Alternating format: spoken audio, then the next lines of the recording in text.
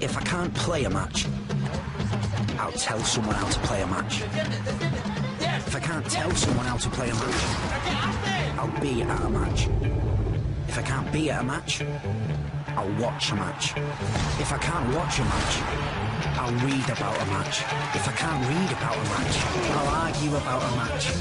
If I can't argue about a match, I'll worry about a match.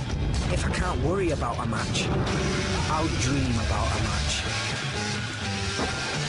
And if I can't even dream about playing a match, then it's game over. Because that means I'm done.